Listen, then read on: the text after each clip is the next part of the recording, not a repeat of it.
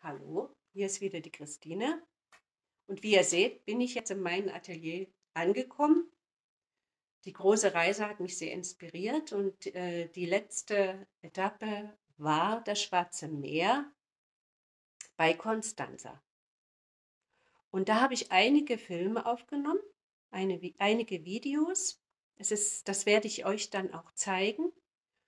Und ähm, es hat mich sehr inspiriert und ich bin gerade an einem Bild dran, was ich jetzt hier umsetze.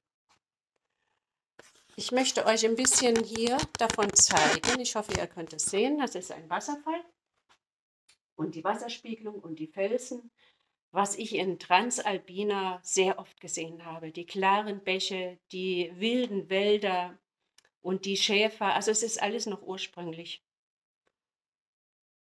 Und ähm, das hat mich sehr erfreut. Ja. Und das möchte ich euch jetzt hier zeigen.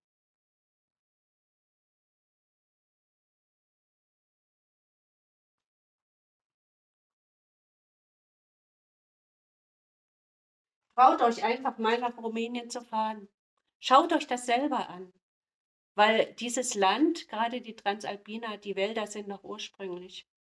Da gibt es noch Bären, Wölfe, was man sonst nie sieht. Und es ist einfach traumhaft. Diese Menschen sind noch glücklich.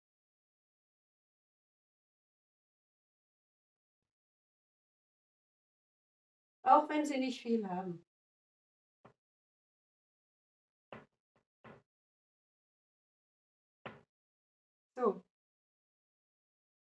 Die Mystik des Bildes ist eigentlich jetzt soweit fertig. Und ich hoffe, es kommt auch so rüber. Bis demnächst.